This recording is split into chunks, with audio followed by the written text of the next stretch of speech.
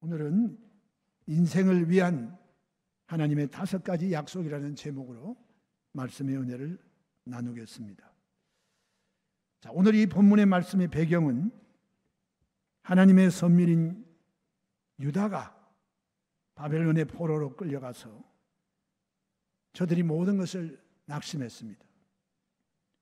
그리고 그들은 절망적인 상황에 놓여 있게 되었습니다. 그럴 때 하나님께서 저들에게 주신 희망과 위로와 소망의 말씀인 것입니다. 오늘 하나님께서는 우리 성도들에게 끊임없이 요구하시는 것이 있는데 그것은 어떤 상황이나 어떠한 여건에 있어서도 두려워하지 말라. 그리고 마음을 강하게 하고 담대히 하고 기뻐하며 감사하며 살라는 것입니다. 오늘 정말 이스라엘 백성들의 그 삶에는 앞을 봐도 옆을 봐도 뒤를 봐도 소망이라는 한 것이 없습니다. 그럼에도 불구하고 오늘 하나님께서는 두려워하지 말라, 놀라지 말라 이렇게 말씀하고 있어요. 오늘 여러분 두려움과 놀라는 일들은 항상 우리 주변에 생깁니다. 여러분이 아시는 살아있는 순교자라고 하는 루마니아의 리차드 범블랜드라고 하는 목사님이 신앙 때문에 감옥에 투옥이 됐어요. 그래서 그곳에 고생을 하면서 이제 마음에 앞으로 어떻게 될 것인가 이런 염려를 잔뜩 가지고 있으면서 가져온 성경책을 읽기 시작했습니다. 성경을 읽으면서 그 하나님 말씀의 위로를 받고 그렇게 살아가려고 성경을 찾다가 마음에 가지고 있는 것이 항상 불안하고 두렵습니다. 그래서 성경을 쭉 찾다 보니까 성경에 두려워하지 말라고 하는 말이 무려 366번이나 있더라는 것입니다. 날마다 두려워하는 일은 생깁니다. 근데 하나님이 얼마나 세밀하신지 4년마다 윤년이 올 것을 생각하셔서 366번을 적어놨어요. 윤년일 때도 다른 날, 다른 해보다 하루가 더 많은 윤년이 다가오는 그날도 하나님은 빼놓지 않고 너에게 두려운 일이 있을 때 두려워하지 말라 하는 말씀을 주신 거예요. 자, 하나님이 이 말씀을 하셨는데 그냥 공치세로 하는 말씀이 아니었어요.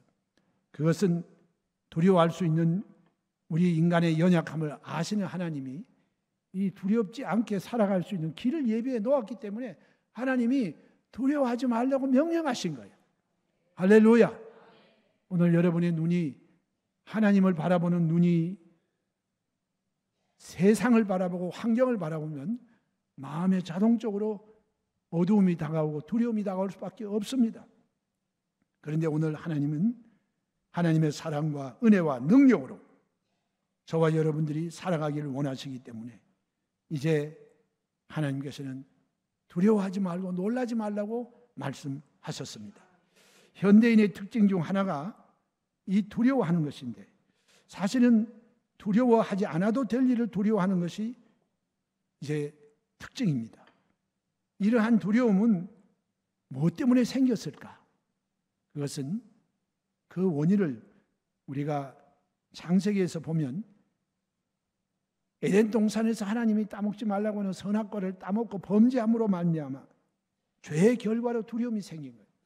아담이 죄를 짓기 전에는요. 두려울 게 하나도 없어요.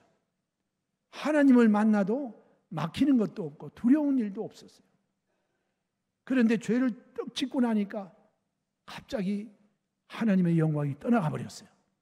그들의 벗은 몸도 하나님의 영광이 둘러 있을 때는 부끄럽지가 않았어요. 그리고 수치스럽지가 않았어요. 그리고 두렵지가 않았어요. 그런데 죄를 짓고 나니까 그만 하나님의 영광이 떠나버리니 그들이 벌거벗은 수치를 느끼게 되고 마음에 두려움을 가지게 돼요. 그래서 옷을 해입고 그리고 나무 뒤에 숨었습니다. 그럴 때 하나님 찾아오셨어요. 아담아, 아담아, 내가 어디 있느냐? 내가 벗었으므로 여기에 숨은 나이다. 왜 두렵냐? 참, 그럴 때 그 죄의 그 역할을 우리가 보면 죄는 우리를 벌거벗기고 우리를 수치스럽게 만들고 마음에 두려움을 갖게 하는 거예요. 그래서 여러분 그런 말 하지 않습니까? 얻어맞은 사람은 다리 피고 자도 때린 사람은 발을 오그리고 잔다는 말이 있어요. 그건 왜? 남을 때리는 일은 좋지 않은 일을 했기 때문에 마음이 편치가 못한 거예요. 죄를 지으니 우리 마음 속에 두려움이 생기고 그리고 사람들은 걱정하게 되고 근심하게 되는 것입니다. 또한 여러분 우리가 두려워하는 이유 가운데 하나는 무엇이냐? 이것은 사탄의 속임수입니다. 사탄의 역사예요. 여러분 이 성경의 이 두려움에 관한 것을 하나님이 하지 말라고 명령하신 것은 성경의 영적 원칙이 바로 뭐냐? 두려움에는 형벌이 따른다. 왜냐하면 내가 마음속에 두려워하는 이러한 부정적인 파장이 막 나가면 반드시 여러분 사탄이 여러분 마음속에 두려워하고 근심하는 그 일, 그런 일들이 실제로 생겨나도록 마귀의 공격을 문을 열어놓는 것이 되고 마는 거예요. 그렇기 때문에 여러분께서 마음에 두려움은 매일매일 다가올 수 있지만 이 두려움은 반드시 성령님을 의지하고 예수님의 보혈을 의지하고 여러분이 동원할 수 있는 최대의 많은 인맥을 통하여 기도하게 되시기를 주의 이름으로 축원합니다. 나를 위해서 기도해 주십시오. 내 마음에 이런 걱정이 있고 이 생각이 떠나질 않고 이 마음의 두려움에 내가 정말 너무나 너무나 고통스럽습니다. 이걸 그냥 뭉개면 안 돼요. 그냥 방관해 두면 안 돼요. 그러면 욥과 같은 일이 우리가 두려워하고 무서워하는 일이 마귀의 공격으로 말미암아 길을 열어놓게 되는 거예요. 그러니 여러분 두려움은 하나님의 온전한 사랑이 처방인데 그 처방은 바로 성령님이 역사하시고 여러분이 기도해서 이 두려움을 갖다 주는 악한 원수 마귀의 세력을 물리칠 때 이 두려움의 귀신은 쫓겨가고 마귀의 공격은 우리에게서 무산되어 버리고 마는 것입니다. 할렐루야. 이래서 여러분 우리 몸에 아주 심각한 병이 오기 전에 전조 증상이라는 것이 있습니다. 아, 몸이 좀 이상했는데 그냥 이러다 말겠지. 그리고 전조 증상을 무시하면 진짜 그 병이 우리에게 심각한 타격을 갖다 주는 거예요. 그다음에 이 전조 증상이 뭐냐? 마귀의 공격의 전조 증상이 두려움과 무서워하는 거예요. 이런 일이 있으면 그냥 다 내쫓아버려요. 할렐루야. 이래서 여러분 두려워하는 일이 절대로 나의 현실 가운데 나타나지 않기 위해서 여러분 우리 성령님을 의지하고 예수님의 보혈을 의지하고 기도하여 하나님의 사랑으로 말미암아 이 두려움을 다 내어 쫓으시고 승리의 삶을 사시기를 주님의 이름으로 축원합니다. 하나님이 원하시는 마음은 여러분이 항상 자유롭고 또 평안하고 승리의 삶을 살기를 하나님은 원하시는 것입니다. 자, 그것을 위해서 오늘 하나님께서 오늘 예수 믿는 하나님의 자녀들에게 약속하신 말씀이 있어요. 이것은 그 당시에 낙심하고 미래가 불투명하고 언제 어떻게 될지 모르는 이런 불안한 삶을 살아가고 있던 당시에 바벨론 포로로 잡혀 있던 하나님의 백성에게 주신 말씀인 동시에 오늘 예수 그리스도를 믿음으로 말미암아 하나님의 자녀된 성도 여러분에게도 주신 말씀이 바로 이 약속이니 이 말씀을 늘 기억하시고 이 말씀을 여러분이 아예 외워버리시고 하루를 시작하면서도 여러분 항상 이 말씀을 입으로 선포하며 매일매일을 살아가시기를 주의 이름으로 축원합니다. 그 첫 번째가 바로 뭐냐? 두려워 말라. 여기 하나님 말씀하시기를 내가 너와 함께 함이라. 할렐루야. 자, 여러분 우리가 어린 시절에 어느 으슥한 길을 가려고 하면 컴컴할 때 길을 가면 두렵습니다. 그럴 때 옆에 누가 한 사람이 이렇게 지나가면 얼마나 그 사람이 반갑습니까? 그런데 그 사람이 누구냐?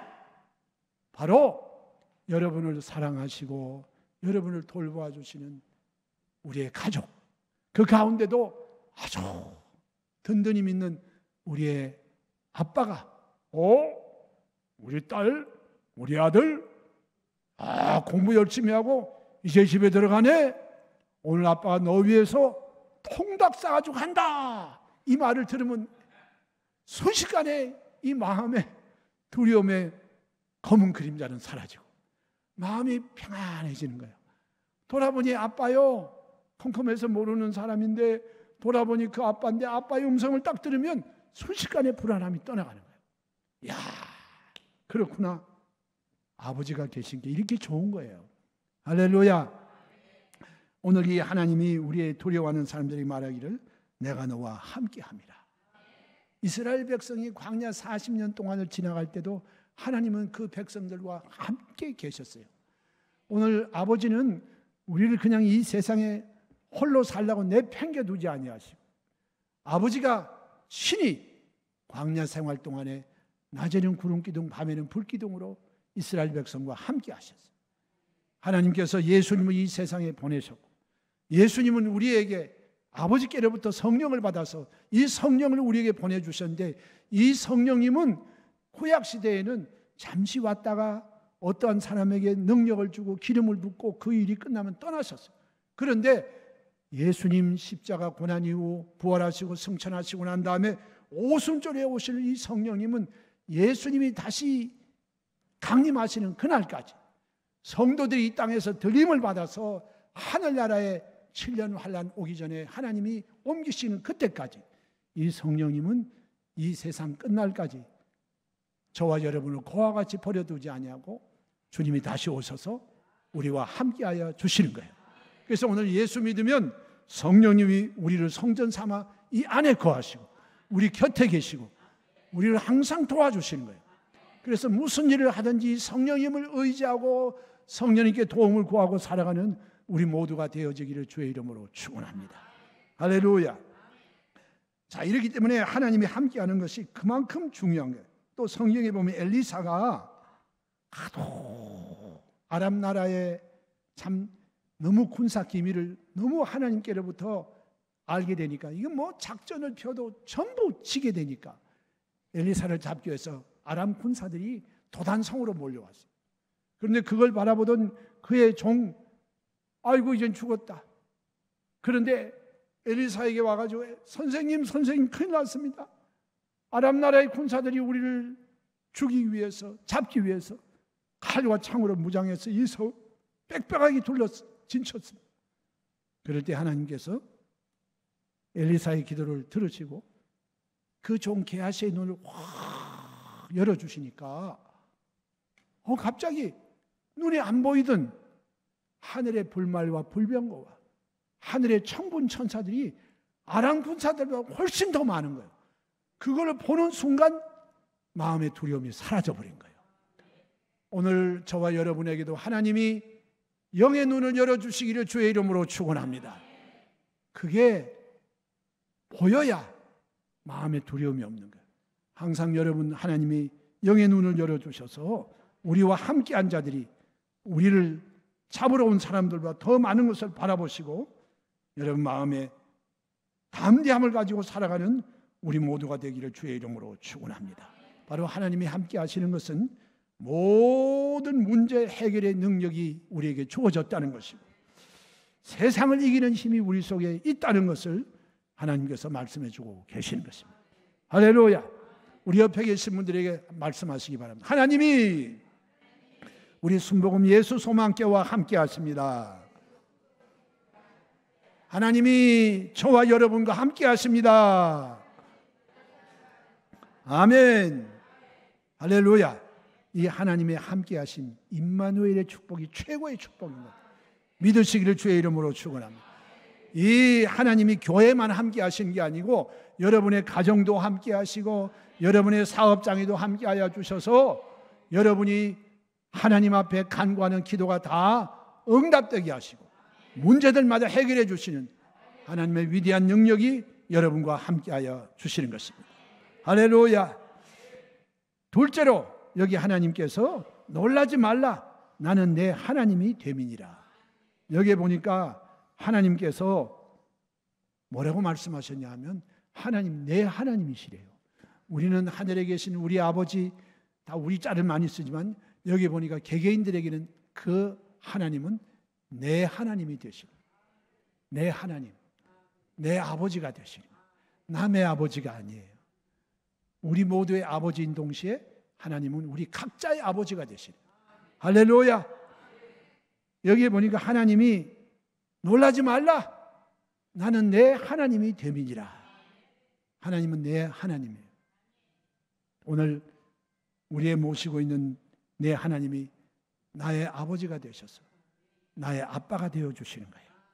그래서 여러분 이 하나님이 되시는 것은 바로 하나님이 계신 것은 영원한 구원의 선포요. 또 우리를 향하신 능력의 하나님이 우리와 함께 계신다고 하는 하나님의 능력의 상징이 되는 것입니다. 그래서 이 성경 사무엘상 2장 6절로 7절에 있는 말씀을 보면 야훼는 죽이기도 하시고 살리기도 하시며 음부에 내리기도 하시며 올리기도 하시는도다. 야훼는 가난하기도 하시고 부하기도 하시며 낮추기도 하시고 높이기도 하신다. 할렐루야.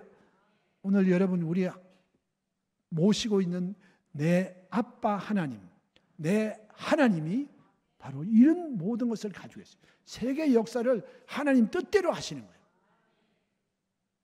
그래서 여러분, 그 하나님은 모든 것을 창조하실 뿐만 아니라 창조하신 만물을 지금도 통제하시고 다스리시고 우리가 여태까지 살아보지 못한 미래에 되어지는 일까지도 성경책에 다 기록해 놓고 하나님이 기록해 놓으신 이 예언의 말씀은 하나도 남김없이 다 이루어지게 역사해 주시는 거예요.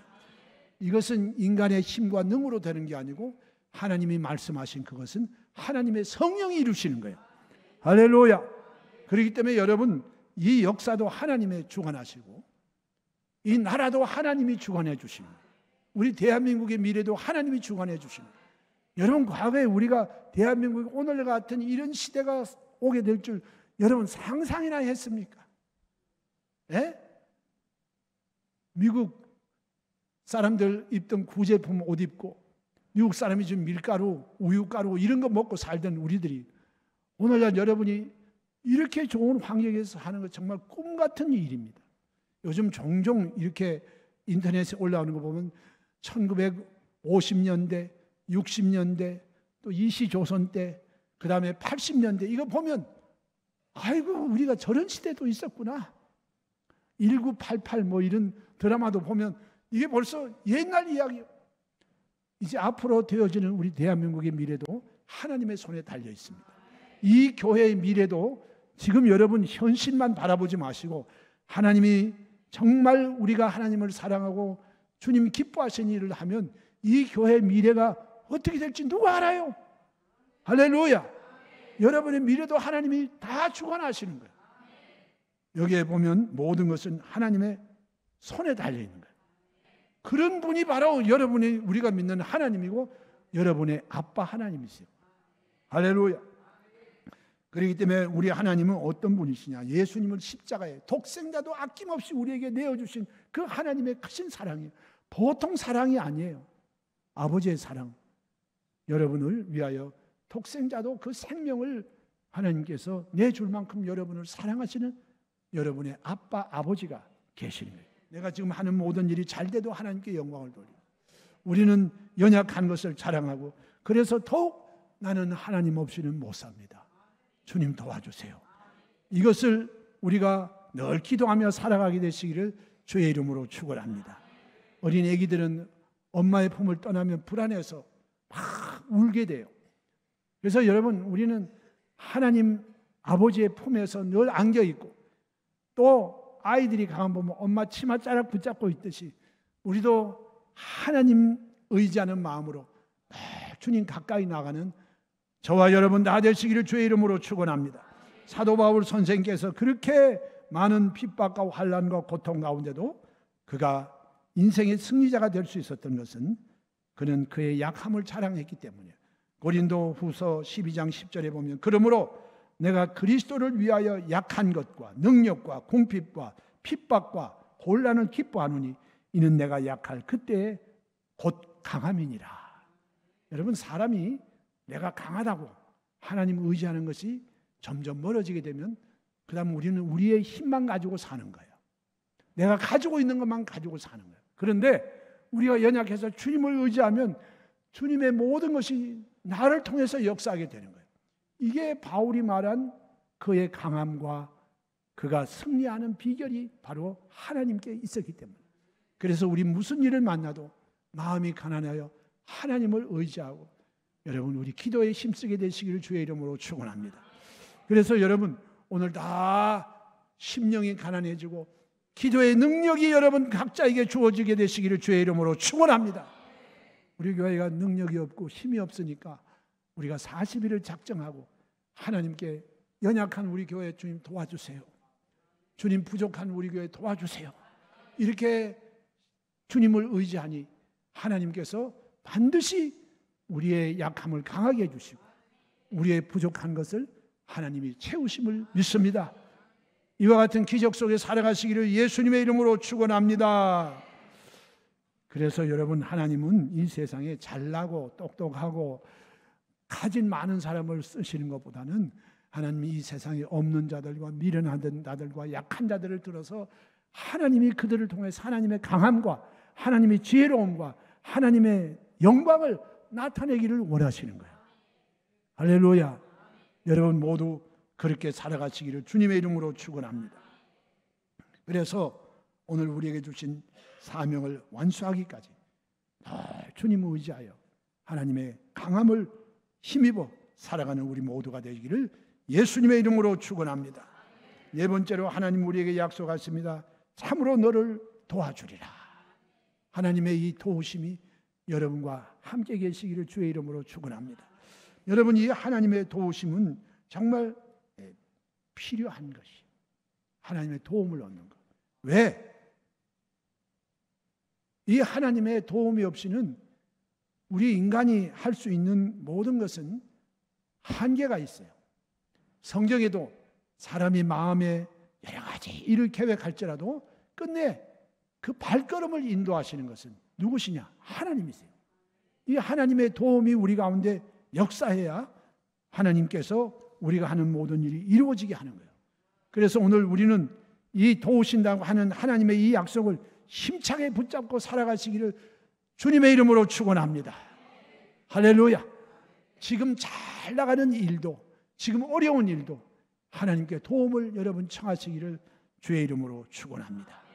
사람들은 그만 조금만 편안해지고 잘 되면 자기의 경험과 자기의 능력에 의지하여 살려고 하는 것입니다. 그런데 오늘 이 성경에 보니까 하나님은 이스라엘 백성들을 말하기를 너 지렁이 같은 야곱아 그랬어요. 여러분 지렁이가 돼야 하나님이 우리를 통해서 놀라운 일을 나타내시는데 너 지렁이 같은 야곱인데 여러분 어릴 때 보면 지렁이 가지고 우리가 뭐 이 나무 꼬챙이 가지고 팍 몸을 자르기도 하고 발로 팍 밟기도 하고 이 아주 지렁이는 가장 약한 거예요. 별로 여러분 참 어떻게 보면 지렁이 아우 지렁이 너무 귀엽다 이런 사람은 없어요. 그런데 여러분 이 징글징글한 지렁이가 여성들의 립스틱을 만드는 재료가 된다는 사실을 아십니까? 아, 여러분 맨날 지렁이를 입, 입술에 바르시는 또 여러분 뽀뽀하다 보면 요 지렁이를 쪽쪽 빨아먹는 거예요. 자, 그런데 이 지렁이는 정말 아주 연약한 가장 부족한 이와 같은 이런 동물인데요. 그런데 하나님이 도움을 주시면 이 지렁이가 바꿔지는데 성경이 뭐라고 말했느냐?